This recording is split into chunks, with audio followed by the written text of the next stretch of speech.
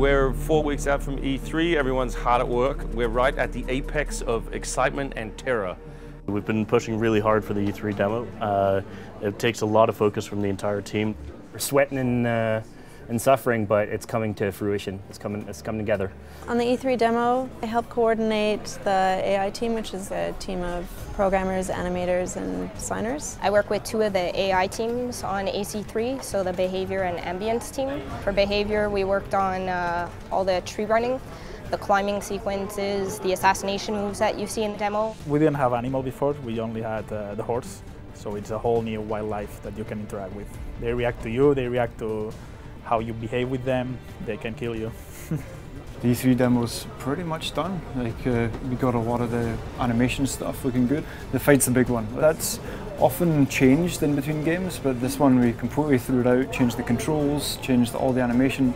Every time you move through the environment, you should be seeing new animations. For right now, most of my time, especially as we get closer and closer to the finish line is like spent like cranking out pages that I can't show you because then people would have spoilers. All right, this is the Foley room where we keep uh, all the props uh, for sound design.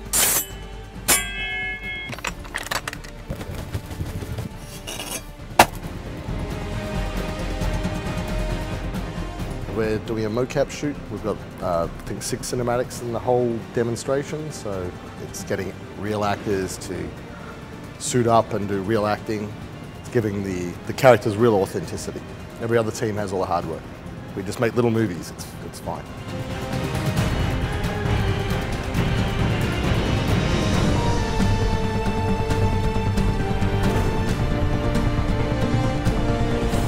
We're here at the E3 demo for the team.